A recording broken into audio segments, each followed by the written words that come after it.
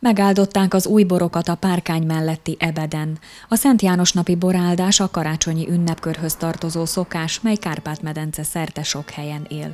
Az Esztergom térségében működő magyarországi és felvidéki borászokat tömörítő Vinum Istergranum Regionis borlovagrend a Duna mindkét partján megtartotta hagyományos borszentelését. Előbb az Esztergomi bazilikában, majd az Ebedi templomban gyűltek össze a boros gazdák, hogy Szent János áldását kérjék az új borra, és mindazokra, akik isznak belőle.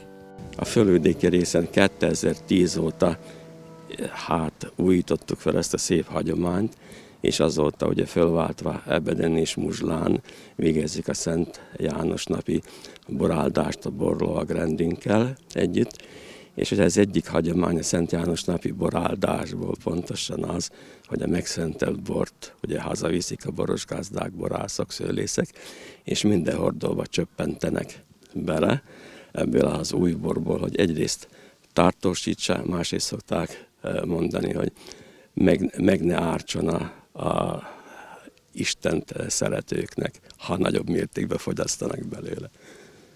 A hagyományok szerint hajdanán minden család vitt bort a templomba, hogy áldást kérjen rá. A szentelt bornak ugyanis mágikus erőt tulajdonítottak, amivel meg lehetett gyógyítani a beteg embert és állatot.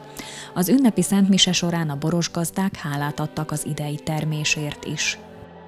Mint boros gazda örülök ennek a 2019-es évnek, mert nem csak én tapasztalatom, de borászokkal, másokkal is beszéltem, hát kimondottan jó év, mert beértek a szőlők, és minőséget adó termés született úgy a fehérborok, illetve a vörösborok kategóriába is.